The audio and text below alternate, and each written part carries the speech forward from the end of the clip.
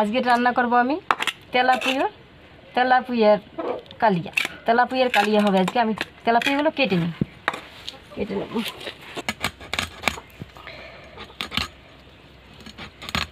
তেলাপুয়াগুলো আমি কেটে নেব।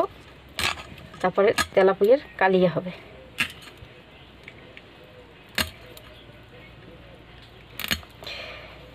কাটা যায় না গো, হাতে লাগবে। এই কাটাটা।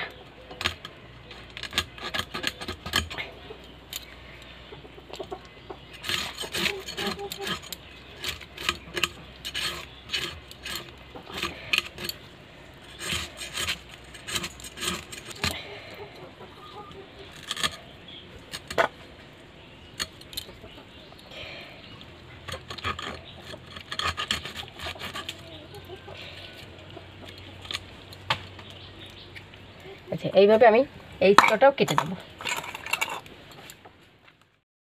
মাছটা কেটে হলুদ আর নুন দিয়ে মাখিয়ে নিয়েছি।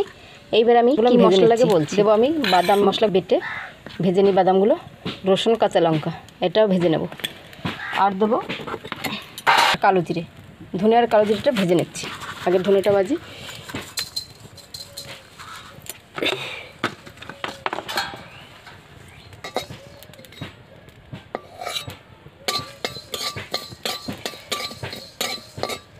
এবার দেবো কালো জিরেটা। কালো জিরেটা দিয়ে দিচ্ছি।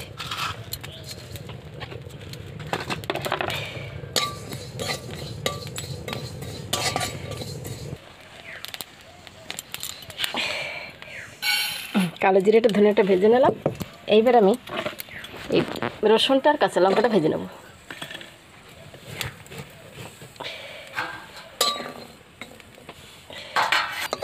এবার আমার রসুনটার কাঁচা লঙ্কাটাও ভাজা হয়ে গেল।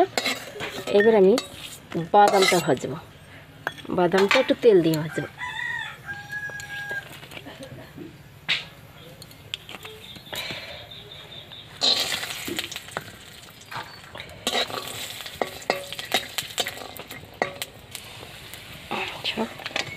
আচ্ছা। বাদামটা ভেজে নিচ্ছি এবার আমি মাছটাকে ভেজে নেব। মাছটাকে ভেজে মশলাগুলোকে বেটে নেব। শিলারাতে মশলাগুলো বেটে নেব। মাছটা ভেজে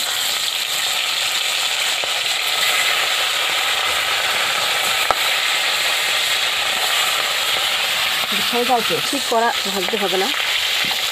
বেশি করা লাগার প্রয়োজন নেই।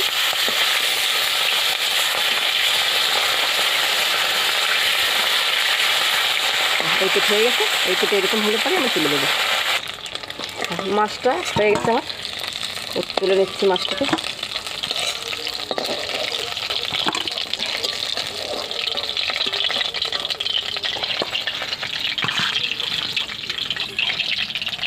আর মশলাগুলো আমি বেটে নিয়েছি। এই যে বাদাম বাটা এইটা হচ্ছে রসুন আর কাঁচা লঙ্কা বাটা, এটা হচ্ছে কালো জিরে আর ধনে বাটা।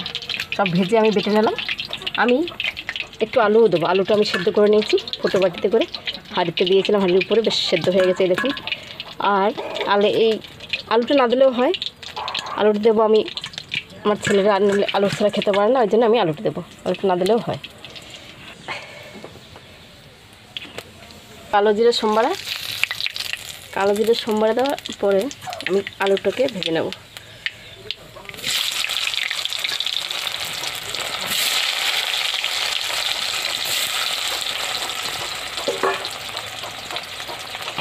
দেবো আমি নুন।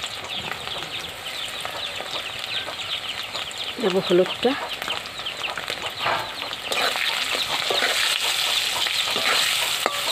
নুনটা পরিমাণ মতো দিয়ে দিয়েছি, আর নুনটা প্রয়োজন এখানে।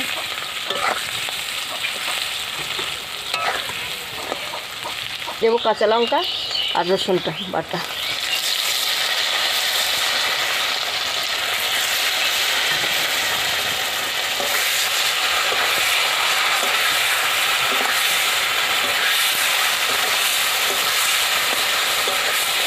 বাদামটা আমি দিয়ে দিচ্ছি, বাদাম বাদাম। জল দিয়ে দিই।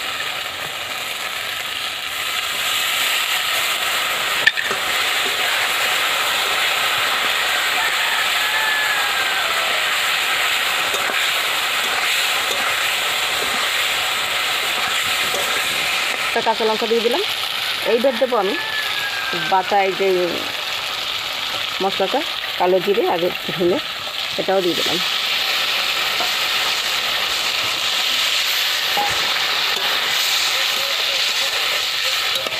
এবার আমি মাছগুলোও দিয়ে দেবো।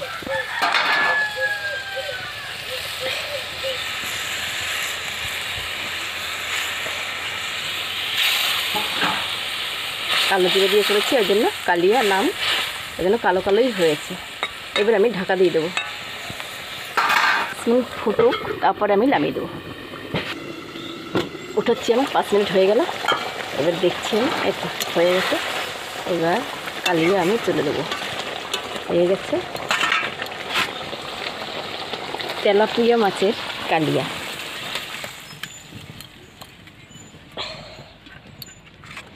আজকে আমাদের তেলাপুয়ের মাছের কালিয়া রেডি। খাওয়ার জন্য রেডি।